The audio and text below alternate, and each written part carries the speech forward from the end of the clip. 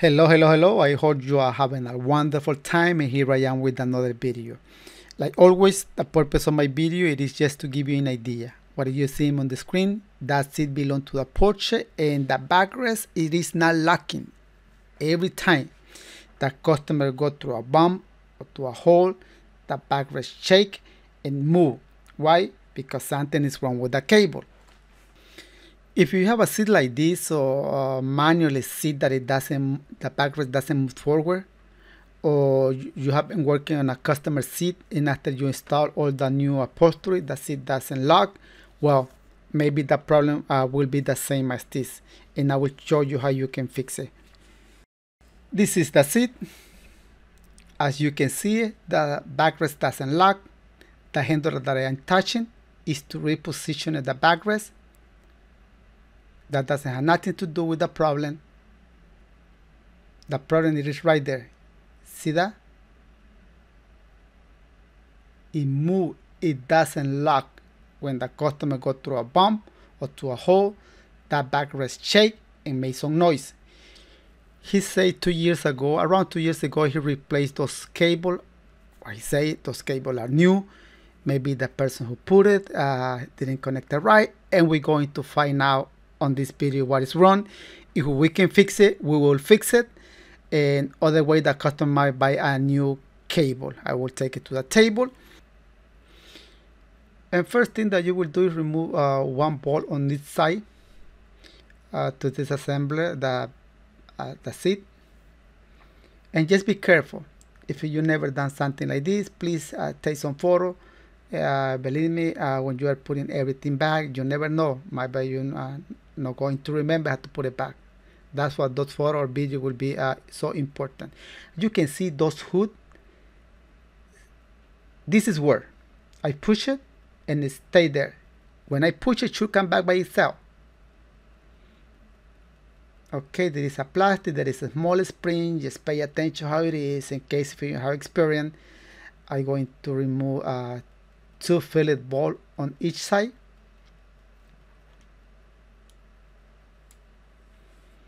And I'm going to do the same thing on the other side. Okay. If if you are going to disconnect those recliner, make sure to put a mark on how they are before you disconnect it because both are connected with a bar. And see there is a plastic, I remove that plastic and I'm going to put a mark. That way when I put it back, I have to make sure those marks match each other. Okay, and same thing on this side. See, I just remove it and I put it back and I put a mark. It is necessary those mark. Uh, to be honest, I have almost four decades working on this trade, so for me it is not necessary. But I do it for those who are learning this trade. That way they can remember easily. And then you're going to, uh, you have to remove the backrest cover. And the backrest cover on this uh, seat it is with the staple. And some, some seat and some backrest, they come with hog ring So remove all those staple in there. Be careful because you are going to use the same cover. You are not making the cover new. No, you are just going to work on the uh, cable. I got the backrest, then I'm going to remove all the other staple. I didn't show you that. So you might ask, why you don't, you don't disconnect that, those uh, recliner? You're going to need a cut plier, then you're going to need a flat screwdriver or, hand, or staple puller to uh, remove all those handles. Uh, you might ask why I didn't remove those recliner. Well, because it comes with a special rivet, and the rivet that I have are not appropriate for that for put it back. So that's why I don't remove it. It's not a big deal. So I'm going to uh, remove this cover without uh, disconnecting those recliner. Be careful with the cover, don't scratch. You see I put a, a phone or I put something on the table. It's for the same, protecting the cover. Then I'm going to uh, remove or uh, unglue this phone and I can see that cable right there. It is loose. I can see it from here. And I bet you those who have a long time working on this trade, they already know what is going on with this backrest. So i just going to move this phone in there. And I'm going to put it back this recliner just to find out exactly if the cable is broken or we can fix it without buying a new cable and same thing right here put everything back except the cover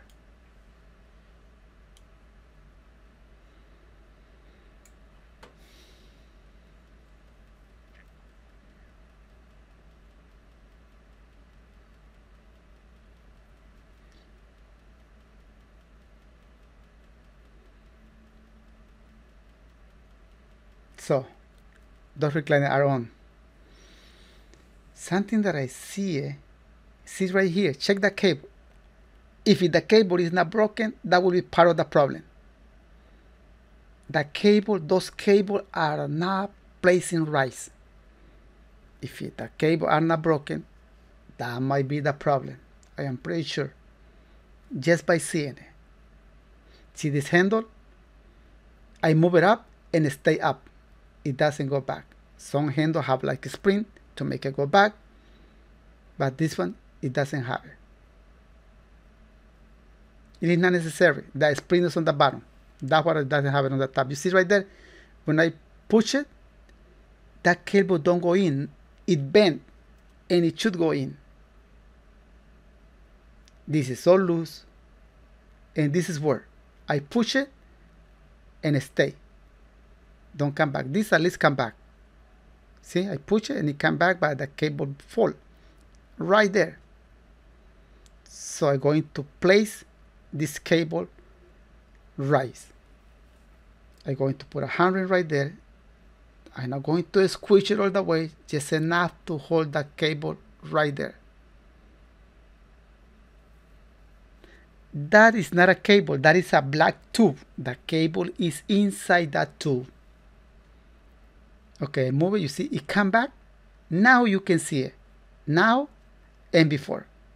See it go in come back. Perfect. I hold that black plastic with some staple. The cable is inside the plastic. When I pull the handle if the black plastic move automatically the cable that is under the plastic it will move too and I don't want you to move. I repositioned those black plastic. The cable is inside. The cable is not broken. Everything is fine. If you had the same problem, maybe the solution will be the same. See? It go back. And you can see it. Pull it up, go back. And before wasn't doing this. Same thing. Now you will see it moving. I move the handle and check the circle inside the circle. It move. Perfect. Before wasn't wasn't doing that. Mm-hmm. Going to put some grease. Going to lubricate it just to make sure it works. I use a heavy duty grease and I put them on there. And I have to check it before assembling those pieces. I have to make sure because remember the cord will be on top of that cable. And I'm not sure if I create pressure on there, it will uh, in. See, it moving, both are moving perfectly. So I connect the backrest with the bottom cushion just to make sure.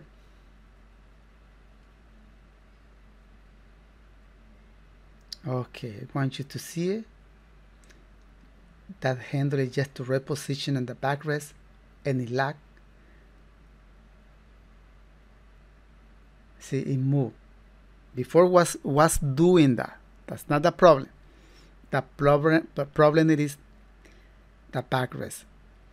Sometimes the customer have a kit and they want the kit to go on the back seat and that's what it is that handle for. that handle it is for that one to move the backrest forward. I can feel it is tight and you see I'm pull the handle up that recliner go forward then I push the recliner back and it lock. Perfect apparently the solution was repositioning that those cable. That was the solution. The customer didn't need a new cable. Those cable it wasn't broken. See? And I create pressure.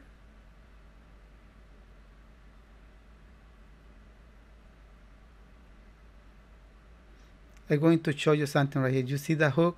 It is locking on the bottom. On one side then the other side it is the same before it wasn't like that.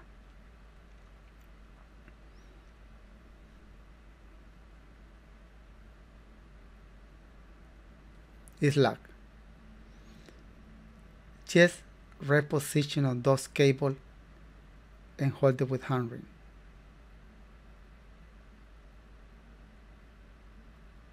Now what I'm going to do is remove it, remove every uh, those bolt and start putting everything back.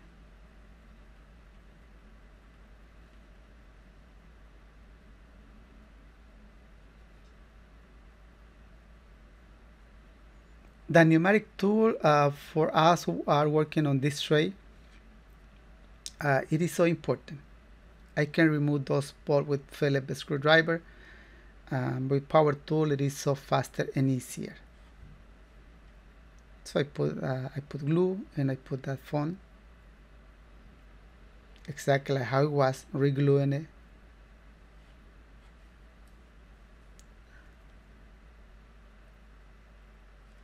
Going to put this uh, quarter of an inch phone with glue.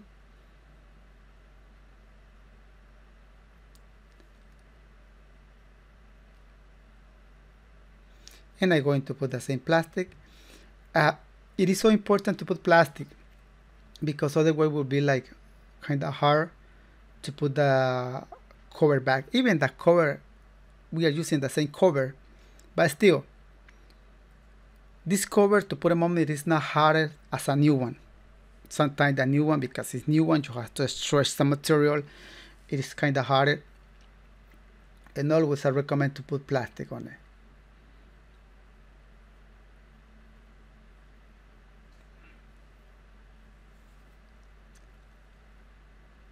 And right there I am using a staple puller. You can use a flat screwdriver if you don't have a staple puller because there are like some um, spine and you have to put the material in there then you have to hit it with the hammer. And then you're going to hold the coil with the hog ring all around. Uh, if you don't have uh, a hog ring plier you can buy them on Amazon eBay. Even in there you can buy the hog ring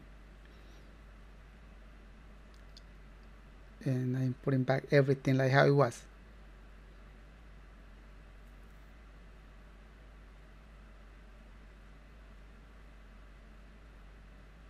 Okay and then I will put the with the sta uh, with the staple I always use a stainless steel staple. Always use stainless steel.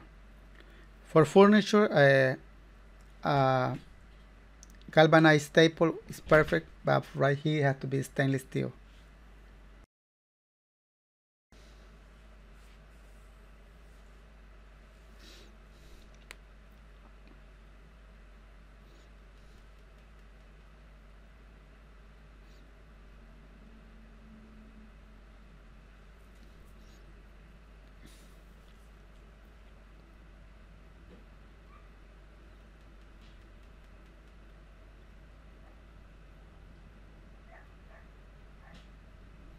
I am not doing nothing new in there. I am just doing the same way, same way it was.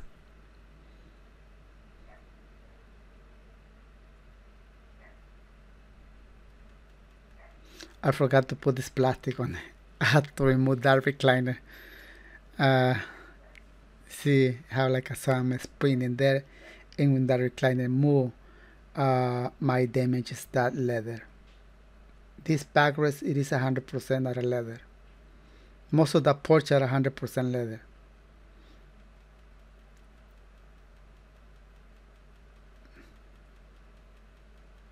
I'm going to put this part exactly how it was. You remember I put a mark on it? Well, I just have to follow those marks.